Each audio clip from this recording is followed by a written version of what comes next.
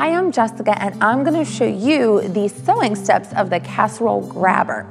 So you can see here that we have our blocks finished. Now, before you stitch out your blocks, you wanna make sure that you are merging that template that we've provided on top of your quilt blocks so that it gives you exactly where you need to cut once it's all done. So if we look down here, you can see this dark line that is my additional template that I've added. And then you can see right here that I've kind of gone around and cut my seam allowance as a curve. Now you can either eyeball this or use some sort of a template, or either a ruler or you know something like that to cut that curve.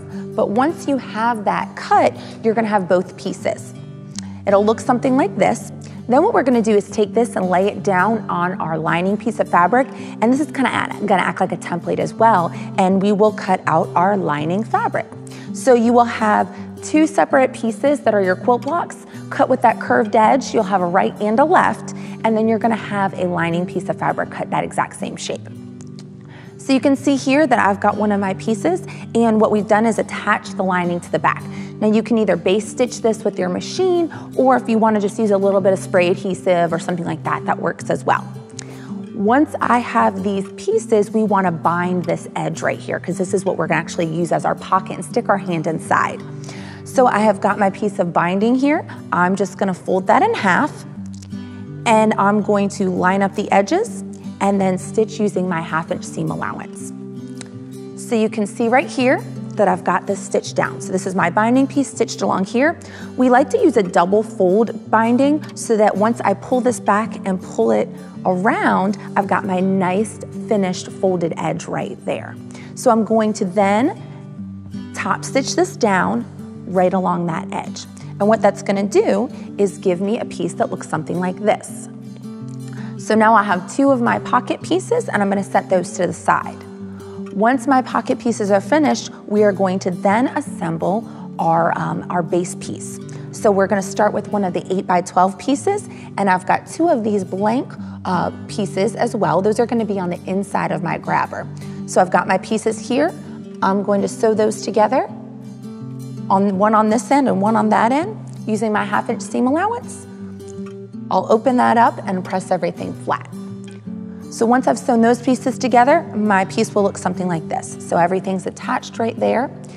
The next step to get everything together is to take my pocket pieces. I'm gonna lay those right on top of those edges. Notice everything's lining up perfectly. So I've got these pieces all together and then I'm gonna baste stitch these pocket pieces down. So now this is one piece that's all together. I'm gonna take this, use this as my template, lay it down on a piece of Insul-Brite and my backing fabric. You need to make sure that you use Insul-Brite in this project at this point um, so that when you actually are grabbing your hot casserole dish, it, you know, the heat doesn't come through. So once I have that all cut out, I'm going to baste all of these layers together. So you can see right here I have something that looks like this. I've got all my pieces together on the front. If I flip this over to the back, you can see here's my, my back lining piece, and I've got my Insul-Brite on the inside there. So we're almost finished with this project, um, but the last thing I need to do is actually do my binding all the way around the outside edge. Now the great thing is we're gonna do this binding exactly like we do all of our quilts, and we are going to start with a piece of bias binding. We did this binding on the true bias, since all of my edges are rounded, the true bias makes it much easier when I'm going around those edges. So I'm gonna take my piece of bias binding. I like to start along the bottom, somewhere in the middle. I'm gonna line that up.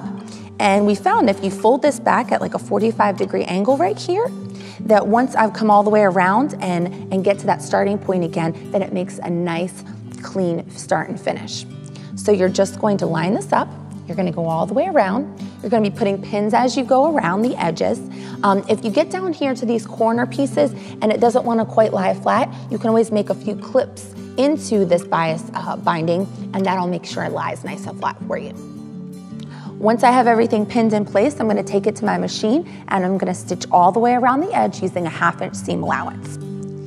You can see right here that we've got a piece with all of my binding attached to the front.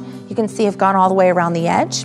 And right here, you've noticed that um, here's my little overlap piece, and I've kind of overlapped this by a couple inches.